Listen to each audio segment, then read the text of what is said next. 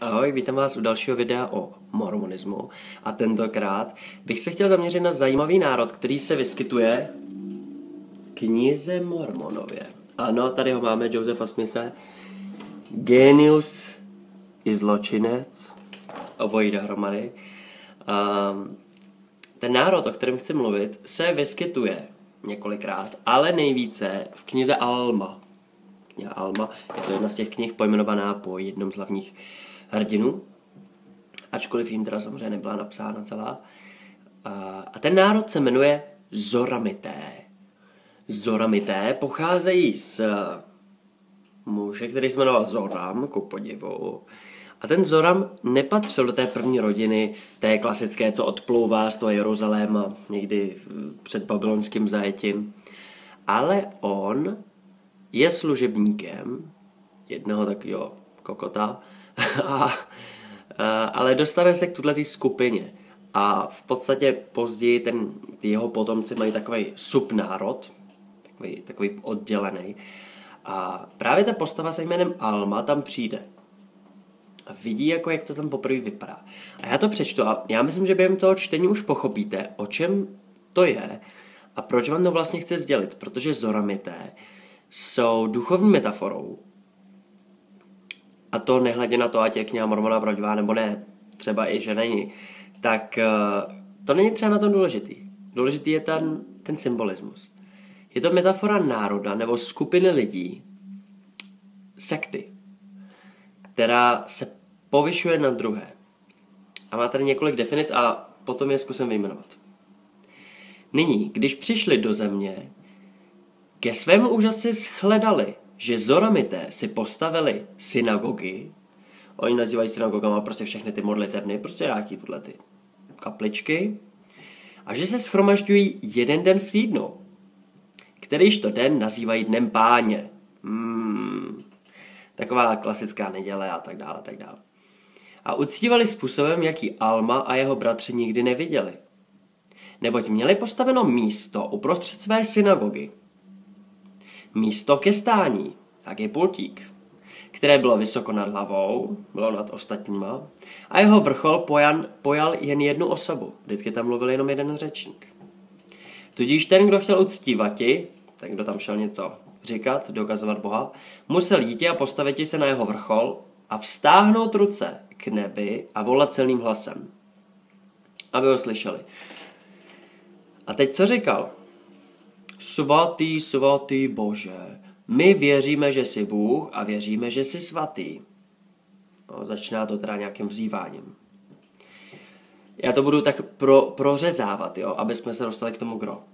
Svatý Bože, my věříme, že ty jsi nás oddělil od bratří našich a nevěříme v tradici bratří svých, protože je špatná a tak dále. Takže tady vidíme první. Oni děkují Bohu, oni mu říkají, jsi svatý, děkujeme ti, protože ty jsi nás oddělil. A to, je, to znamená, že oni samozřejmě chápou tu starou formu toho slova svatý. Svatý neboli oddělený od běžného. Jo? Oni se chtějí být jako odloučeni. A jsou vlastně rádi, že se svýma bratrama mají mezi sebou zeď. Symbolickou. Už si všimněte tohohle rozporu. Ty jsi nás vyvolil, abychom byli spaseni, zatímco všichni kolem nás jsou vyvoleni, aby byli tvým hněvem uvrženi do pekla. Další představa. Představa toho, nebo znak špatného náboženství v podstatě. Za prvý to, že je super, že jsme oddělení. Za druhý to, že si myslíme, jo, my, my budeme jenom spaseni a ty ostatní ty nebudou spaseni, protože oni nemají správnou víru. Úplně falešný. Za kterouž to svatost my, Bože, ti děkujeme. A děkujeme ti, že jsi nás vyvolil, abychom nebyli svedeni pošetilými bra- tradicemi bratří svých, to bylo zase to první pořád, která odvádí srdce jich tak, že bloudí daleko od tebe, Bože náš. A opět děkujeme ti, že jsme vyvoleným a svatým lidem. Vyvoleným, odděleným, svatým lidem. Nyní vy jste. Každý tam šel a přednesl tutéž modlitbu. Neboli furt říkali takovýhle stejný keci, což znáte z těch kostelů dost často. Toto místo nazývali Rameumptom. Rameumptom. Což přeloženo je svatý stupínek. Každý člověk děkoval svýmu bohu, že jim byl vyvolen a že je nesvedl podle tradice bratří jejich. Že jejich srdce nebylo ošáleno.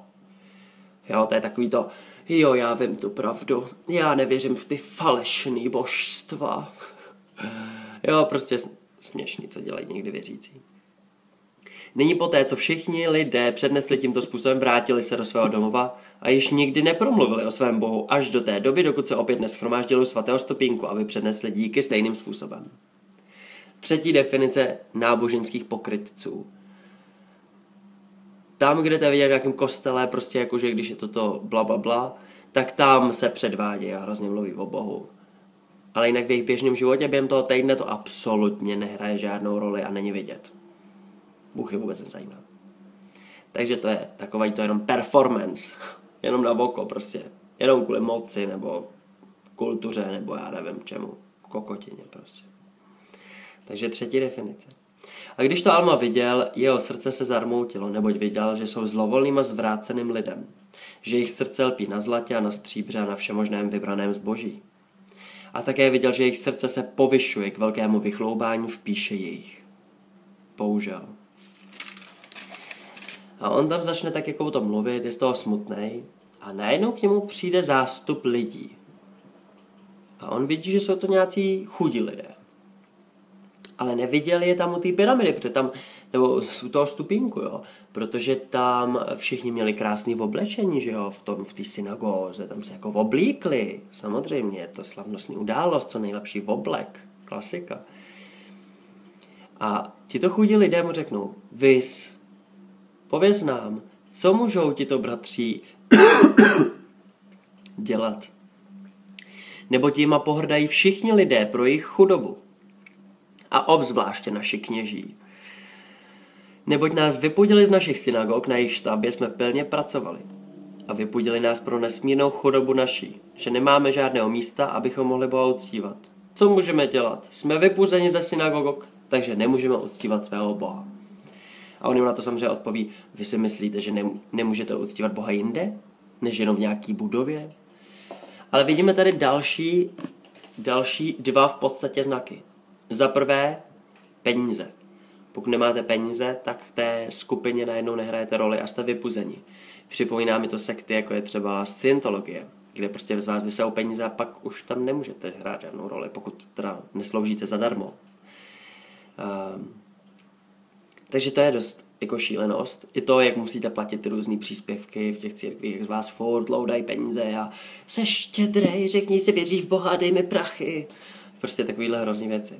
No a vidíme tady i pátou věc, ta představa, kterou tuhle falešní kulty říkají, Boha nemůžete uctívat sami někde ve svém srdci, v přírodě, v přírodě už vůbec ne, že jo, ale někde prostě, když už tak doma, ale hlavně prostě jediný, kde se pořádně může komunikovat s Bohem je v tom kostele nebo v nějaký ty něčem, mešitě.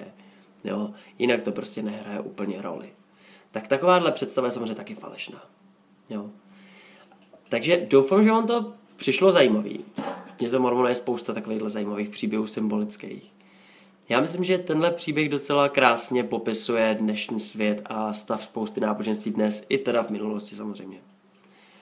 Řekněte mi, když tak klidně sami, co, co si o tom myslíte, jaký z toho máte pohled, jestli si myslíte, že jsem něco důležitého vynechal, nebo naopak si tam hledal něco svýho, možná. Každopádně můžete mi napsat do komentářů nebo na profil. Takže doufám, že se vám to líbilo a těším se za nějakou dobu, kdo ví jak dlouho, zase u nějakého videa o mormonismu.